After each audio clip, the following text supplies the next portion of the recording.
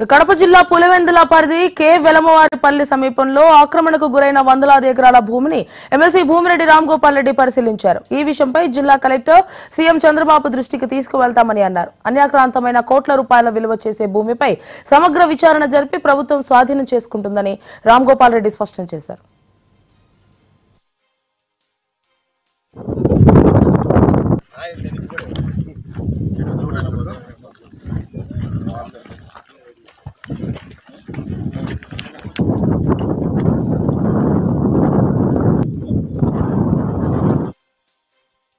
Pulivendula municipality పరిధిలో ఉన్న వెల్లంవారిపల్లి revenue గ్రామ పొలంలో ఉన్న వందల ఎకరాల ప్రభుత్వ భూమిని భూబకాసురులు విచ్చలవిడిగా అన్యాక్రాంతం చేస్తూ తమ అధీనంలోకి తీసుకొని కోట్ల ఆస్తిని తన పరం చేసుకోవడం జరుగుతుంది. గతంలో అనేక సందర్భాల్లో మేము ప్రతిపక్షంలో ఉన్నప్పుడు కూడా ఫిర్యాదు చేయడం జరిగింది.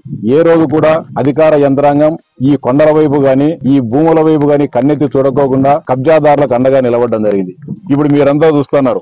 అంటే గతంలో ఏ విధంగా దోపిడీ చేశామో భూములను ఆక్రమి ఆక్రమ- ఆక్రమించుకున్నామో ఇప్పుడు కూడా అదే విధమైన పందాను కొనసాగించాలనే ఆలోచనతో కొంతమంది దుర్మార్గులు పోలవరం ప్రాజెక్టులో అన్న ఇన్ని మిషన్లు ఇన్ని టిప్పర్లు ఉధృతంగా పనిచేసాయో లేదో గాని వెలమారిపల్లె గుట్టల్లో మాత్రము పదుల సంఖ్యలో పొక్కులేన్లు వందల సంఖ్యలో టిప్పర్లు ఒక ఉద్యమ స్ఫూర్తితో ఒక ఉత్తేజభరితమైన వాతావరణంలో వందల కోట్ల భూములను కాజేయాలనే కుట్ర